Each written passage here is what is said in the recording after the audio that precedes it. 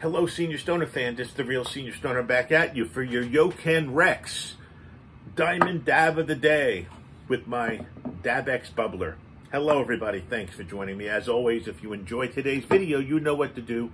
Join the family, send a like, and let's get those comments going. Keep me busy. Today's topic, once again, is born out of life. But you know what? Many of us are going to have issues with what I'm about to talk about living with loneliness. How do we do it? I'm alone every day from 7:30 in the morning till about 6 at night. Alone. And then Mrs. Stoner is with me from 6 to about 9. Then I'm alone again. So, how do we free ourselves, let's call it, from feeling or being lonely when we're by ourselves? Okay, many of us have experienced this. There's no one around to talk to, you slowly sink into a state of sadness or anxiety or fear that you'll never get over it. It overwhelms us at some times. Feelings of loneliness. Guess what? None of us are alone with this. If we've had feelings of loneliness, we are far from alone. Loneliness is one of the most common, if unpleasant, emotions that tens of millions of people experience. For some, it's a passing emotion. For others, it's a recurring sense of desperation and sadness. But for all of us, just part of being human. Loneliness, unfortunately, can eat, lead to a lot of negative things in one's life. We have to find ways to suppress those unwanted feelings or actions because things can lead to depression, you can ruminate and dwell. Why am I alone? It can lead to hopelessness by having a strategy to deal with loneliness. It can be an important safeguard against depression, worse things, and even making bad choices. Let's take a look at some ways that you can manage or cope with the feelings of loneliness. What if we were to normalize loneliness? That's right because loneliness is on the rise so much.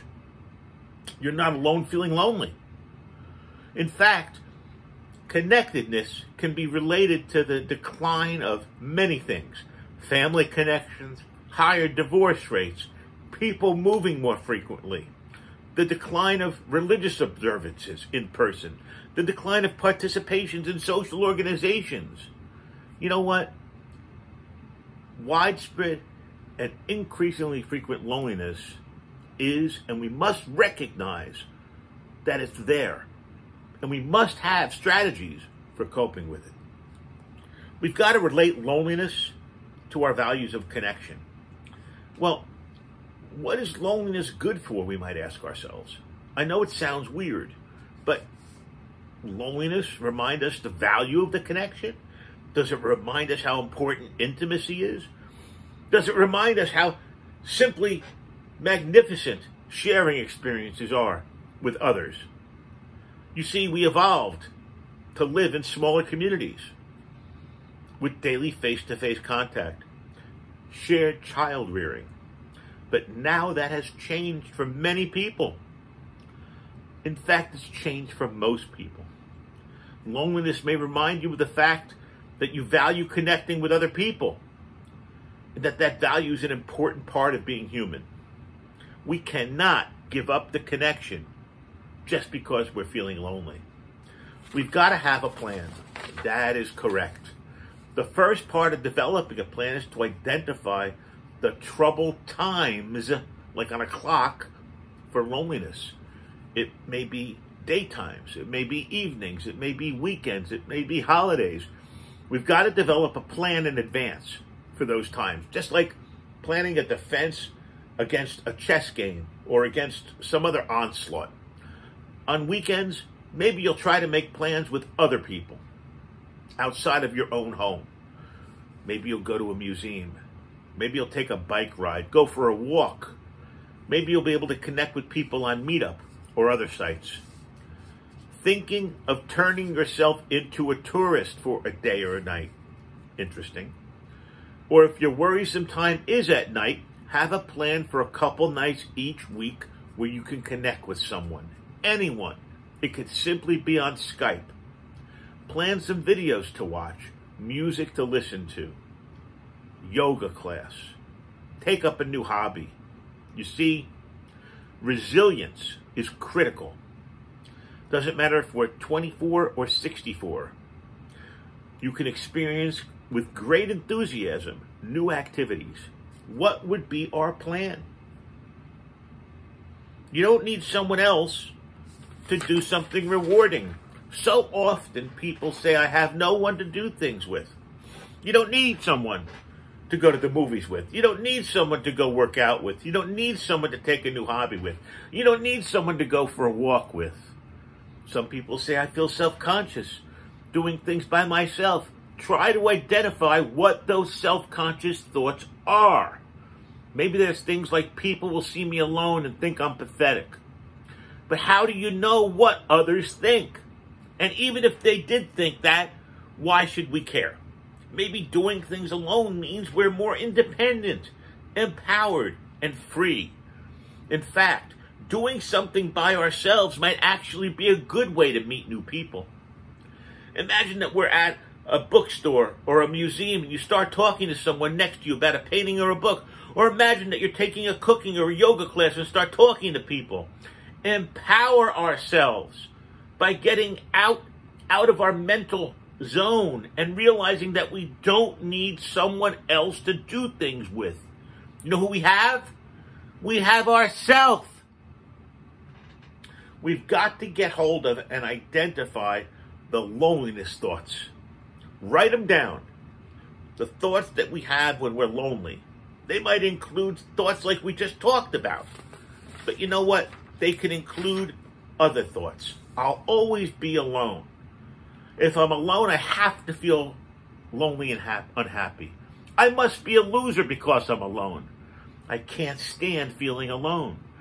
If you have these or other negative thoughts, then you're like tens of millions other people who feel stopped in their tracks by loneliness. But, but, we can try rational and helpful responses. We are the we are only alone for moments, minutes, and hours. And you'll be interacting with people soon. Whether you're waiting in line, talking to a friend, or participating in an activity, we are not on a deserted island. Just because we're alone doesn't mean we have to feel sad and lonely. We can look at it as an opportunity to do things that we like. We may enjoy having the peace to read something you like, listen to your own music, cook your favorite food, watch your favorite movie, or visit wherever you want to go. The idea that we are a loser because we are alone makes no sense. Everyone's alone at some point. 45% of the people in the world experience loneliness. Being alone is a situation, and situations change. The idea that we can't stand being alone doesn't make sense. It may be true that we don't like being alone, but I think it's the way we relate to it that matters. If we relate to loneliness with protest, anger, desperation, defeat, you know what? Then it's going to be unpleasant. It might be more helpful to relate to it with the idea that feeling lonely or being alone comes and goes, ebbs and flows, and that it's something we all cope with. Accepting what is might be better than catastrophizing something we all experience. We need to direct compassion and tenderness towards us, towards ourself, rather than thinking we need to rely on others for love, acceptance, and compassion. We might direct those thoughts and feelings towards ourselves. They can include acts of loving kindness towards yourself, making yourself the best food you can, buying yourself a simple little gift, directing loving thoughts towards yourself by giving support to you for being who we are being the best friend you can to yourself, and by recalling a loving person from your childhood, your mom, your grandmother, your grandfather, whom you recall showing tenderness towards you. Taking care of yourself and soothing yourself is the most incredible antidote for loneliness. My gosh. And if you can, sure you want to build a community of connectedness. Even animals. Because so many people, friends, family, patients, want to connect and experience, but they have pets they didn't even know they could connect with. My pet is my best friend. Maybe consider getting a dog or a cat, or go to a shelter and volunteer. Socializing the kittens or the puppies can be great work to have. You see, there are many ways to feel connected, whether it's working with kids or older people or patients. Anything you can to show kindness towards someone else will make you feel less lonely. Maybe make plans to see people. I know it's hard right now, but being alone doesn't mean you gotta feel lonely. And feeling lonely doesn't mean that you gotta feel that way all the time, forever, indefinitely. It doesn't. I promise you. All emotions pass. And depending on what you're thinking and what you're doing, they pass faster and clearer. You know what? Being alone is the biggest problem I have during the day because it impacts all aspects of my life and I take it extremely seriously. I am very concerned that I dwell on it too much. That's why we're talking about this today. I'm very concerned that instead of just being alone, I get all hyped up that I am alone. And you know what? I don't have to be. There's no reason to be. Everyone gets alone sometimes. Everyone. And you know what?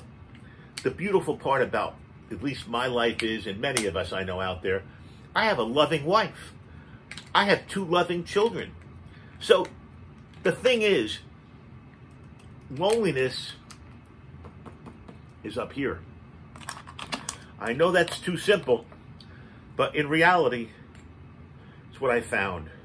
I hope you enjoyed today's discussion on how we all can manage our loneliness, because that's what the discussion is.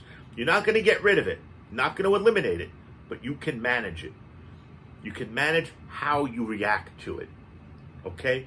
I can't say loneliness is going to stop, but I can say that I hope you, you, you listen and understand and share with me my feelings on it, and we can make it through.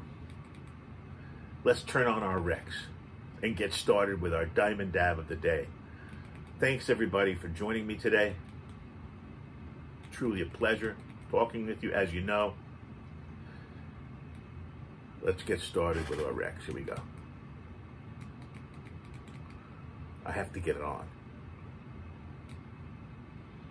Okay, here we go. I have it on the green setting, and it's on already. Here we go.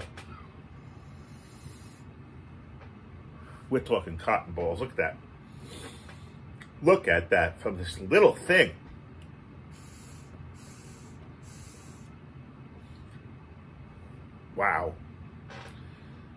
If everything was that simple. Have a great one, everybody. Thanks for joining me. And remember, Loneliness is a state of mind. Cheers, everybody.